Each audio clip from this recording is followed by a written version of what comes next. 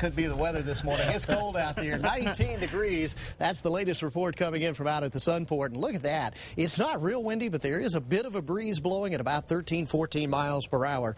And what that does is makes it feel at least 10 degrees colder than it really is, uh, maybe even more so than that. It really is cold, though, right now. Six degrees, the report up in Santa Fe. That's some chilly stuff now where it has been cold for several days now up here across southwestern Colorado. We've got minus five showing in Cortez right now. And that's uh, a combination of snow cover and, of course, the onset of this Arctic air. It was this time yesterday the cold air was having a hard time penetrating the central mountain chain.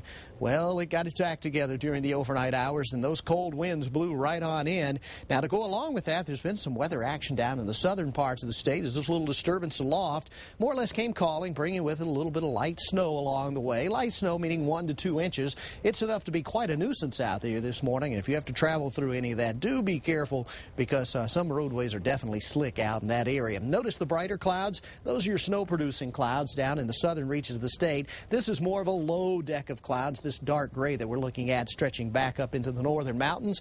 But the good news is there is clearing back behind this, and give it just a little while, and we will be looking at some sunshine out there a little later on today. Here's a look at the numbers across the northwest. Yeah, it's really cold this morning. It'll be really cold again tomorrow morning, and it'll be pretty chilly this afternoon. Speaking of chilly afternoons, some of the chill will be knocked off in the southwest once that sunshine takes over. But even with a little limited late day sunshine, I believe the southeast as well as northeastern parts of New Mexico will continue to shiver as you've got the more or less the core of that cold Arctic air kind of hanging around. Back into the northern mountains, you would expect it to be cold here. You'd expect it to snow, wouldn't you?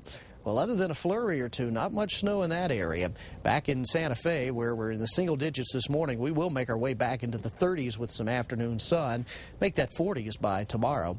And as we look into the East Mountains, not a bad way to go today compared to the winds of yesterday, but those temperatures are pretty chilly. Here's a look at your forecast numbers today. Generally in the lower 40s around the metro. Extended forecast through the weekend shows the temperature coming up a little bit. And once we get into next week, uh, that'll numbers those numbers, that is, will probably be in the 50s. So finally, getting back to more tolerable weather. But boy, is it ever cold this morning? Bundle up like All right. Gizmo. That's right. Put on the clothes. Mm-hmm. Well, very good.